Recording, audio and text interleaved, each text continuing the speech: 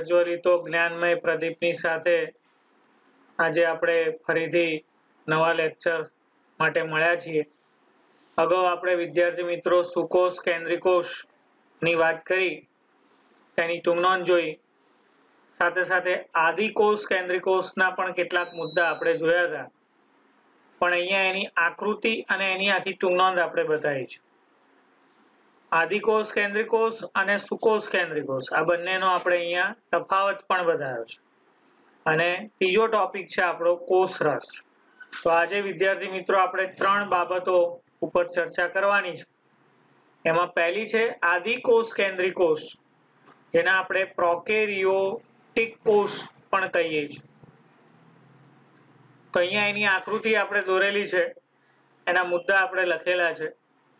પહેલો મુદ્દો છે કે આદિકોષ કેન્દ્રિકોષ ધરાવતા જે સજીવો છે, જેનું કોષ કેન્દ્ર પ્રાથમિક પ્રકારનું એનું કોષ કેન્દ્ર કેવું છે? પ્રાથમિક પ્રકારનું. તે કોષને આપણે આદિકોષ કેન્દ્રિકોષ કહીએ છીએ. જેનું કોષ કેન્દ્ર પ્રાથમિક પ્રકારનું છે, જેને આપણે આદિકોષ કેન્દ્રિકોષ તરીકે ઓળખીએ છીએ. આ કોષ ધરાવતો જે સજીવ છે, આવો કોષ ધરાવતો જે સજીવ છે, એ સજીવને આપણે આદિકોષ કેન્દ્રીય સજીવ કહીએ છીએ. પ્રાથમિક પ્રકારનું કોષ કેન્દ્ર જે હોય, જે ધરાવતા હોય, તે કોષને આપણે આદિકોષ કેન્દ્રિકોષ કહીએ છીએ. તે કોષને આદિકોષ કેન્દ્રિકોષ કહીએ છીએ. અને આવો કોષ ધરાવતા સજીવને આપણે આદિ કોષ કેન્દ્રીય સજીવ કહીએ છીએ. ઓકે ઉદાહરણ તરીકે આવશે બેક્ટેરિયા અથવા તો સાયનોબેક્ટેરિયા અહીંયા તમને બેક્ટેરિયાનો કોષ કેન્દ્ર બતાવ્યો છે. એની આકૃતિ બરોબર સમજી લો. આ જે ફરતી બોર્ડર છે, જેને આપણે કોષ દિવાલ કહીએ છીએ. અહીંયા ઉપરના ભાગમાં જે આ તમને દેખાય છે, એ લીટા, એ પીલી છે. આ જે મોટો ભાગ છે તે કસા છે. અંદર તમને જે આ આખો ભાગ દેખાય છે, તેને આપણે ન્યુક્લિઓઇડ કહીએ છીએ. અને આ જે અંદર ટપકા દેખાય છે તે કોણ છે? રિબોઝોમ્સ. તો આગળ મુદ્દા જોઈએ આપણે, વિદ્યાર્થી મિત્રો.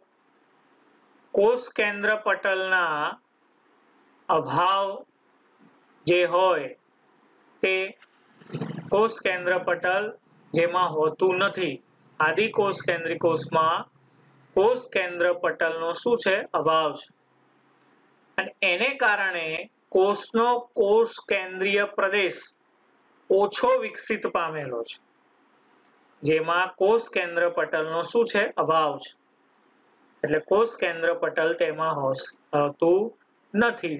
અને માટે કોષનો કોષ કેન્દ્રીય પ્રદેશ જે ઓછો વિકાસ પામેલો હોય છે.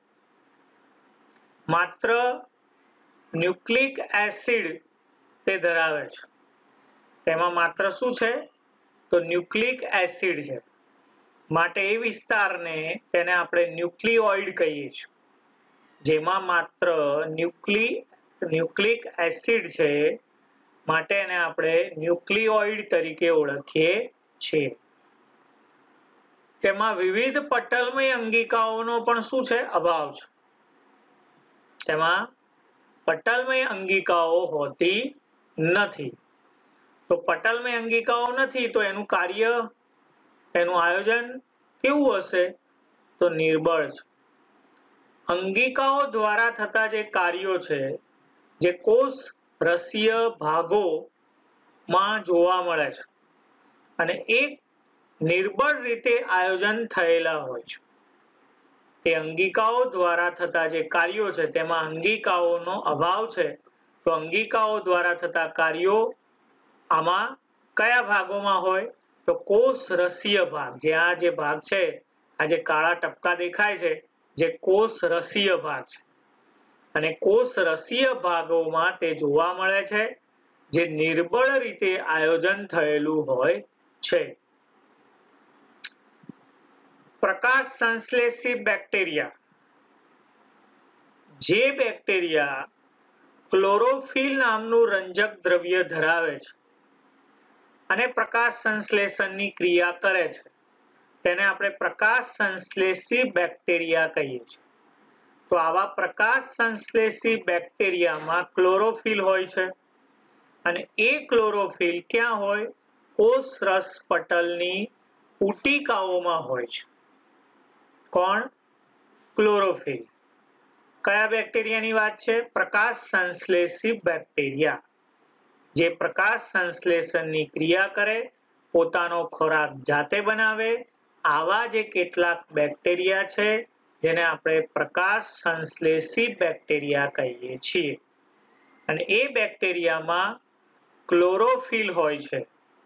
અને એ ક્લોરોફિલ કોષ રસ પટલની પુટિકાઓમાં આવેલું હોય છે. અને એ પુટિકાની રચના કોથળી જેવી હોય છે. પુટિકાની રચના કેવી હોય છે? કોથળી જેવી તેની શું હોય છે? રચના હોય છે. તો આ કોના મુદ્દા થયા? આદિ કોષ કેન્દ્રીય કોષ, જેને આપણે પ્રોકેરિયોટિક કોષ પણ કહીએ છીએ. તેના, તેની આકૃતિ છે. તેના મુદ્દા છે. પૂરા વાક્યમાં મુદ્દા પાડીને લખવાના છે. વિદ્યાર્થી મિત્રો, આપણે સુકોષ કેન્દ્રિકોષની તુલના અગાઉ જોઈ ગયા હતા. અહીંયા આદિકોષ કેન્દ્રિકોષ અને સુકોષ કેન્દ્રિકોષનો તફાવત પણ તેના કેટલાક મુદ્દા મેં તમને અગાઉના લેક્ચરમાં આપ્યા હતા, જે મેં તમને જાતે તફાવત લખવાનો કીધો હતો. અહીંયા મેં બીજા કેટલાક મુદ્દા ઉમેર્યા છે. તો આપણે તે સમજી લઈએ. પહેલું છે આદિકોષ કેન્દ્રી કોષ તેને, તેનું કદ કેટલું છે? તો એક થી દસ માઇક્રોમીટર છે. અને સુકોષ કેન્દ્રી કોષનું કદ પાંચથી સો માઇક્રોમીટર છે. આપણી જાણકારી માટે અહીંયા આપણે એક માઇક્રોમીટર બરાબર દસની માઇનસ છ ઘાત મીટર થાય. બરાબર? આપણી જાણકારી માટે એટલે આનું કદ એક થી દસ માઇક્રોમીટર એટલે અતિ સૂક્ષ્મ થયું. સુકોષ કેન્દ્રી કોષનું કદ પાંચથી સો માઇક્રોમીટર આદિકોષ કેન્દ્રી કોષનું કોષ કેન્દ્ર પ્રાથમિક કોષ કેન્દ્ર છે. જ્યારે સુકોષ કેન્દ્રી કોષનું કોષ કેન્દ્ર સુવિકસિત કોષ કેન્દ્ર છે. આદિકોષ કેન્દ્રી કોષ કોષ કેન્દ્રની રચનામાં કોષ કેન્દ્ર પટલ, કોષ કેન્દ્રિકા અને રંગસૂત્રોની ગેરહાજરી છે. એટલે તેમાં કોષ કેન્દ્ર પટલ, કોષ કેન્દ્રિકા કે રંગસૂત્રો હોતા નથી. સુકોષ કેન્દ્રી કોષની રચનામાં કોષ કેન્દ્ર પટલ, કોષ કેન્દ્રિકા અને રંગસૂત્રોની હાજરી હોય છે. એટલે તેમાં આવેલા હોય છે. આની કોષીય રચના પ્રાથમિક પ્રકારની છે. જ્યારે સુકોષ કેન્દ્રી કોષની કોષીય રચના સુવિકસિત પ્રકારની છે. આદિકોષ કેન્દ્રી કોષ જેમાં પટલમય આવરણ ધરાવતી અંગિકાઓનો શું છે? અભાવ. જે આપણે અહીંયા બી લખ્યું હતું કે વિવિધ પટલમય અંગિકાઓનો અભાવ છે. એટલે પટલમય અંગિકા હોતી નથી. જ્યારે સુકોષ કેન્દ્રી કોષ જેમાં પટલમય આવરણ ધરાવતી અંગિકાઓ તેમાં આવેલી હોય છે. આદિકોષ, કેન્દ્રિકોષ, જેમાં કોષ રસનું ચક્રીય ભ્રમણ થતું નથી. જ્યારે સુકોષ, કેન્દ્રિકોષ, જેમાં કોષ રસનું ચક્રીય ભ્રમણ થાય છે. આદિકોષ, કેન્દ્રિકોષ તેમાં વિભાજન દરમિયાન ત્રાક કિરણો એટલે કે એસ્ટર્સ બનતા નથી. સુકોષ કેન્દ્રિકોષ કે તેમાં વિભાજન દરમિયાન, એટલે જ્યારે કોષ વિભાજન થાય છે, તે દરમિયાન ત્રાક કિરણો, એટલે કે એસ્ટર્સ, તેમાં બને છે. આદિકોષ કેન્દ્રિકોષ કે જેમાં એકલ રંગસૂત્રો હોય છે. તેમાં માત્ર એકલ રંગસૂત્રો હોય છે, કારણ કે આદિ છે. આદિ એટલે નિમ્ન થાય. આદિનો બીજો અર્થ શું થાય? નિમ્ન. એટલે કે પ્રાથમિક હોય તે. માટે તેમાં એકલ રંગસૂત્રો હોય છે. જ્યારે અહીંયા એક કરતા વધુ રંગસૂત્રો હોય છે. તો વિદ્યાર્થી મિત્રો, અહીંયા તમારી માટે એક તફાવત આપણે અહીં મૂક્યો છે. આદિકોષ કેન્દ્રિકોષ અને સુકોષ કેન્દ્રિકોષ. તો આ તફાવત તમારે સરસ રીતે પૂરા વાક્યમાં લખીને યાદ રાખવાનો છે. પરીક્ષાની અંદર બે કે ત્રણ માર્ક્સની અંદર તફાવત પૂછાઈ શકે. તો અહીંયા આપણે આદિકોષ કેન્દ્રી કોષ જેનું બીજું નામ પ્રોકેરિયોટિક કોષ અને સુકોષ કેન્દ્રી કોષ જેને યુકેરિયોટિક કોષ કહેવાય. ફરીથી એકવાર. આદિકોષ કેન્દ્રી કોષ જેને પ્રોકેરિયોટિક કોષ પણ કહેવાય અને સુકોષ કેન્દ્રી કોષ જેને આપણે યુકેરિયોટિક કોષ પણ કહીએ છીએ. ઓકે? તો આ બંનેનો તફાવત થયો. આગળ આપણે નવી ટૂંકનોંધ કોષ રસ વિશે જોઈએ. કોષ રસ જેની ટૂંકમાં માહિતી આપણે અહીંયા લેવાની છે. કોષ રસ એ ક્યાં હોય?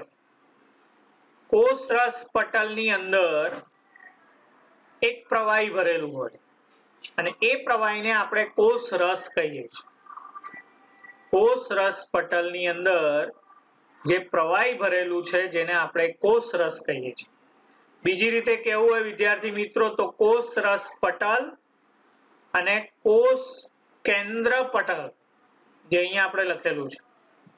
તમે આકૃતિ જોશો, તો કોષ રસ પટલ અને કોષ કેન્દ્ર પટલની વચ્ચે આવેલું હોય આ કોષ રસ.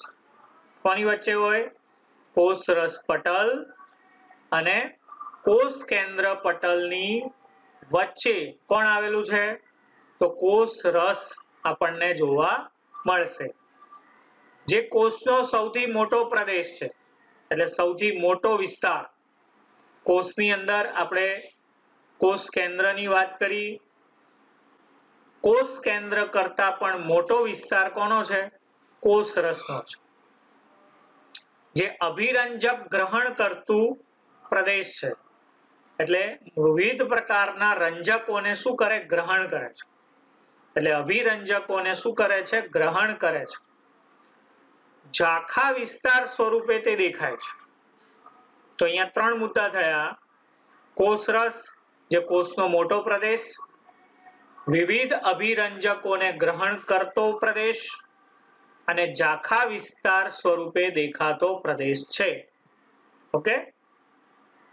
હવે સુકોષ કેન્દ્રી જેમાં આપણે અહીંયા લખ્યું કે જેમાં પટલમય આવરણ ધરાવતી અંગિકાઓ હોય છે.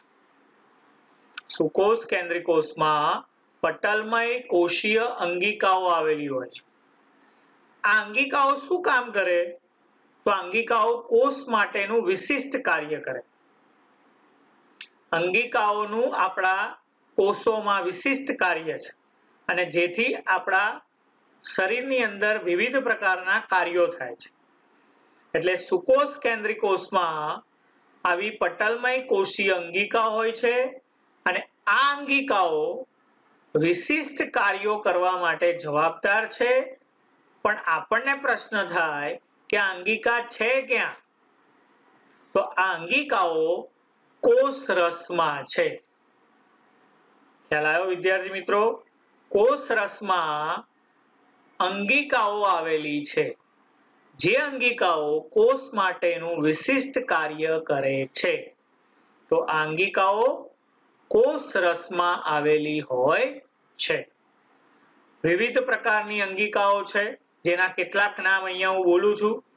જેમ કે અંતકોષ રસ ઝાડ કણાભસૂત્ર લાઇસોઝોમ રિબોઝોમ્સ રંજક કણ, રસધાની આ બધી કોણ છે? અંગિકાઓ છે. તમને થશે આવા નામ છે. આ નામ નહીં આપણે આની ટૂંકનોંધ પણ ભણવાની છે. એટલે નેક્સ્ટ લેક્ચરમાં આપણે અંગિકાઓની ટૂંકનોંધ ભણવાના છીએ. બરાબર? તો અહીંયા કોષ રસના મુદ્દા બહુ ઓછા છે. કોષ રસમાં જે મેન વાત છે તે કોની છે? તો તેમાં રહેલી અંગિકાઓની છે. એટલે કોષ રસ કોષ રસ પટલની અંદર જે પ્રવાહી રસ છે, જેને આપણે કોષ રસ કહીએ છીએ, કોષનો સૌથી મોટો પ્રદેશ છે, અભિરંજક ગ્રહણ કરતો પ્રદેશ છે, ઝાંખા વિસ્તાર સ્વરૂપે દેખાતો પ્રદેશ છે, અને તેમાં વિવિધ પ્રકારની અંગિકાઓ આવેલી હોય છે. ઓકે? તો વિદ્યાર્થી મિત્રો, આજે આપણે કોષ, આદિ કોષ કેન્દ્રી કોષ જેની આકૃતિ, જેની આખી ટૂંકનોંધ જોઈ આદિકોષ કેન્દ્રિકોષ અને સુકોષ કેન્દ્રિકોષનો તફાવત જોયો અને કોષ રસના મુદ્દા જોયા. નેક્સ્ટ લેક્ચરમાં આપણે અંગિકાઓ વિશે ભણવાનું છે. એની આકૃતિ અને તેની ટૂંકનોંધ આપણે નેક્સ્ટ લેક્ચરમાં ભણશું. ત્યાં સુધી આ જ રીતે વિદ્યા લેતા રહો, વિડીયોના માધ્યમથી ભણતા રહો અને સારામાં સારી રીતે તમે વિદ્યા લો તે આશા સાથે આપણે નેક્સ્ટ લેક્ચરમાં નવી ટૂંકનોંધ સાથે મળશું. ત્યાં સુધી બધાને જય શ્રી કૃષ્ણ.